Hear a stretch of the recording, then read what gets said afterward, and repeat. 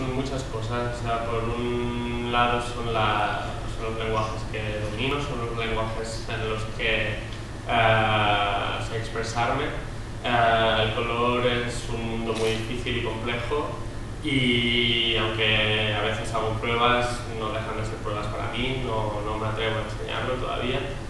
Es una, es una asignatura pendiente y, y no la descarto, simplemente no, no es algo en lo que tiene, tiene suficiente calidad para, para enseñar.